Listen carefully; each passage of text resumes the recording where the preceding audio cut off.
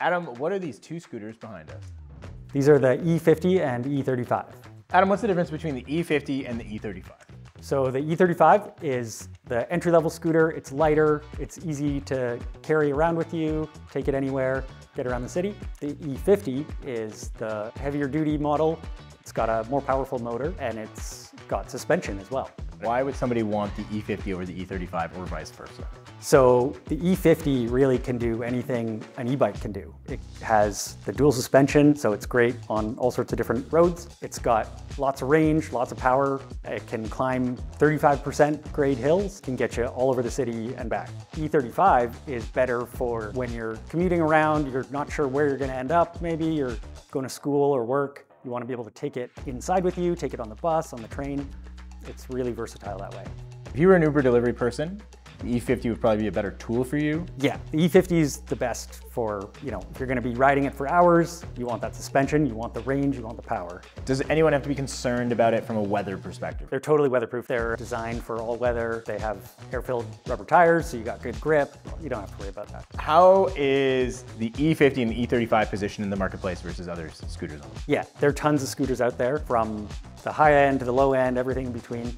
What we were looking for was a scooter that had all of the features we wanted at the price we wanted. And also there's a sort of a gap in the market in that there are a lot of scooters that you can only buy online. And if something breaks, if you have a problem with it, there's not much you can do. Because we're here in North America, we have a warehouse where we can do maintenance and we can actually follow up and maintain a relationship. So the E50 scooter has a pretty extensive list of features. What are these? It's got dual suspension, it's got disc brakes, it's got a 500 watt motor, which is tons of power, it's got a really big battery, about 50 kilometers of range.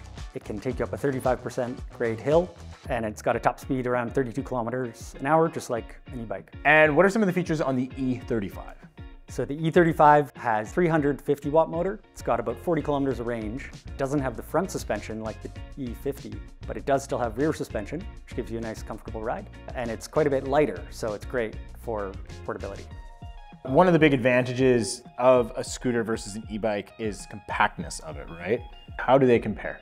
So both scooters allow you to fold the handle down. So portable, you can bring it inside with you, you can bring it on the bus, on the train. If you're going to work, you can put it under your desk and charge it or whatever. The E50 is a little heavier, so it's a little more difficult to carry up a bunch of stairs, but the E35 is, is much better for that. Let's talk about the design of the scooters. Both of them look really great. What are some of the outlying design features? Both these scooters have die-cast aluminum frame, give it a really good look.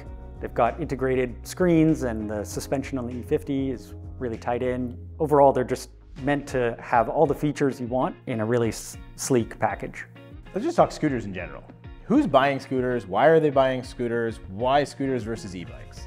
There's all sorts of different people buying scooters. I think they're still growing uh, as people get more familiar with them.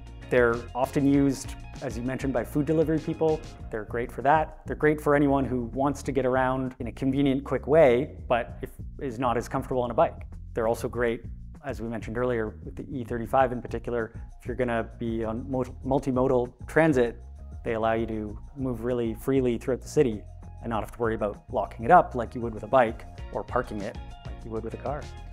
And let's talk Envo drive systems, the E35, E50 versus any other scooter on the market. They look great, but what is the biggest advantage? Why choose these over something else? Yeah, it's about the complete package. So we offer all the features you might want at a really great price.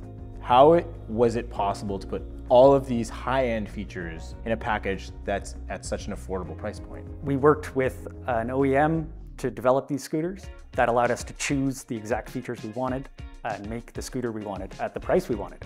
By putting in that extra work to really nail down exactly what we wanted, we were able to really get the best deal for everyone.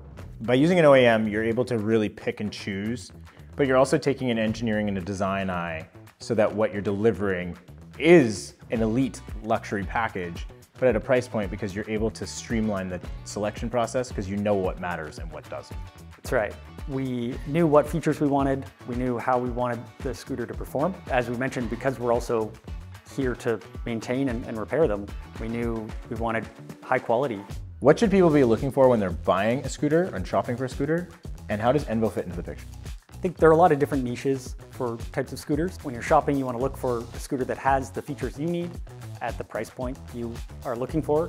At Envo, we really focused on two different categories of scooters and tried to make them the best that they can be at a low price. What is the difference between a $6,000, a $3,000, and a $300 scooter? And where does Envo fit in that matrix? There are scooters all across that range.